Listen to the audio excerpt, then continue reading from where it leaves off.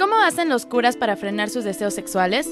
Se trata de que las energías sexuales o los impulsos sexuales también los puedas reconducir. También podríamos hablar de la energía sexual de la libido como energía creativa. Y pues la iglesia en ese sentido llega a ser en un futuro nuestra esposa cuando nos ordenamos. A ella pues van dirigidas todas nuestras energías, todas nuestras capacidades de entrega, todas nuestras ilusiones, nuestros proyectos. Lo recomendable es que hagas aquella actividad que te relaje, que te distraiga, que te mantenga ocupado. Es decir, puedes desde leer un libro, si es hora de deporte, salir a hacer deporte, salir con tus compañeros a tomar un café, a platicar a lo que sea, o este, hacer la oración.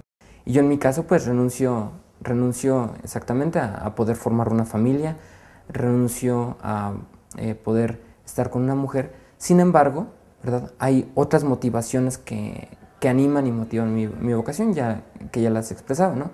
El poder servir, el poder acompañar a una comunidad, el poder entregarme, creo que es algo que, en mi caso, ¿verdad?, me planifica más. Especialistas piensan que la condición célibe desemboca en las conductas patológicas. ¿Qué dicen a ello los sacerdotes?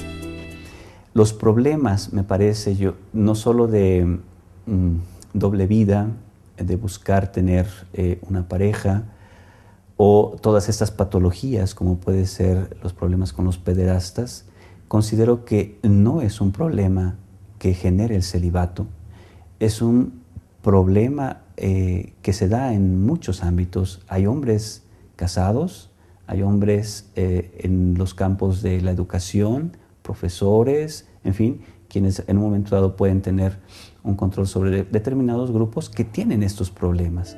Con imágenes de Antonio Guzmán e información de Natalia Gómez, El Universal TV.